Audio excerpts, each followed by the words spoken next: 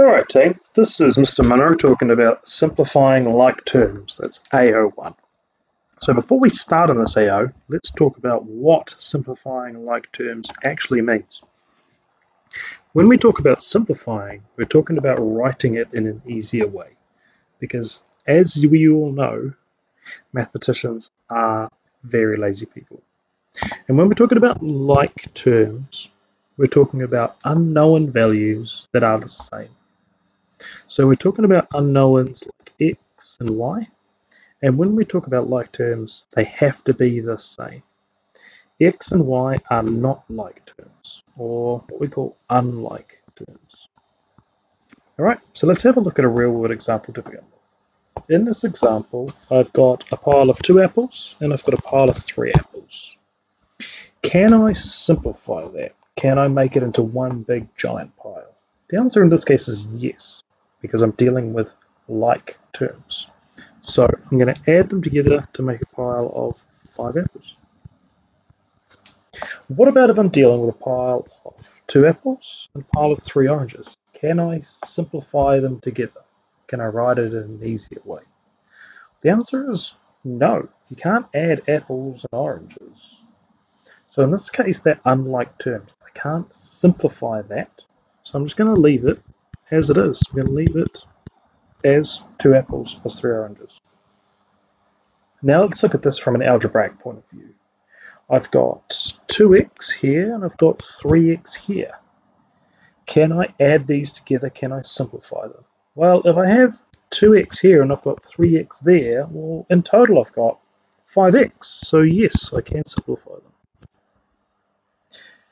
Simplifying doesn't just work with addition, it works with subtraction as well. So in this case here, I've got 6x in this pile, and I need to take away 2x. I treat this just like arithmetic. 6 take away 2 is 4, so 6x take away 2x is 4x. Okay, moving on. In this case, I've got a pile that's 2x, and this is 3y. Can I simplify this? Are they like terms? No, they're not. They're unlike terms. So I can't simplify them. I have to simply just leave them as they are, as, as simple as they get. In this case here, I'm dealing with x squared and x squared. These are like terms, so I can add these together. 2x squared plus 3x squared is going to give me a total of 5x squared. But what about in this case here? I'm dealing with a pile of x and a pile of x squared.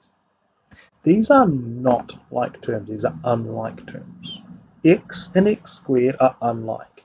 The same goes for x squared and x cubed or x to the power of 4. These are unlike terms. This doesn't apply though when you're dealing with x and a half x. These are like terms. It only applies when you're dealing with exponentials like x squared, x cubed, x to the power of 4. So in this case, I can't add x and x squared. I have to simply leave them as they are because they are unlike. Last example before we look at a proper example. 2xy plus 3yx. Now, this one's written as xy, and one's written as yx. So, are these like terms? Are they unlike terms? Well, to answer that question, you have to think about what xy and what yx means. xy simply means x times y, and yx simply means y times x. And we know that xy and yx must therefore be the same thing because we know from using our multiplication basic facts that 2 times 3 is the same as 3 times 2, vice versa. So xy and yx are like terms, so we can add them together. And you can write it either way. I'm going to write it as 5xy, just because I like to follow the sort of order of the alphabet.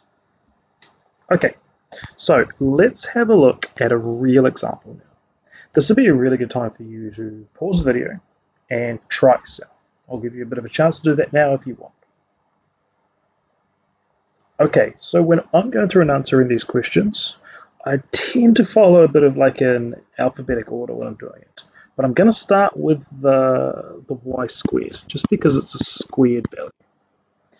This is the only y squared that's on there. This is a y, that's a y. So they're not like terms. So I'm simply just going to rewrite it. It's just still on its own, just a lonely y squared. Okay, let's have a look at our x's next. So I've got 4x here, and I've got 3x there. I'm adding them together. So when I simplify them, it's just going to be 4x plus 3x. That's going to be 7x. And to make life easier, I'm just going to put a line through them. I'll put a line through this y squared as well to make life easier. So I can see what I've got left. Right, so the y's. 5y and this is minus 2y. Now I've got to be really careful because that is take away 2y, remember.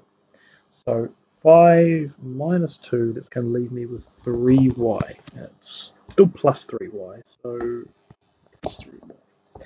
And let's have a look. That is all of my terms. So 4x plus 5y plus 3x minus 2y plus y squared simplified is y squared plus 7x plus 3y. Now remember, the order of these doesn't matter. If you wrote it as y squared plus 3y plus 7x, it's still the correct answer. What does matter though is these operations. It has to be plus 7x, it has to be plus 3y. Otherwise, we've got a problem. Okay? Uh, if you got that correct, well done. If you made a mistake, go back, maybe review the stuff up here. Uh, and if you're still really stuck, have a talk to someone else in the class or come and have a talk to me, see what we can figure out. Okay, so that was AO1 simplifying like terms. Hope you learned something. Good luck.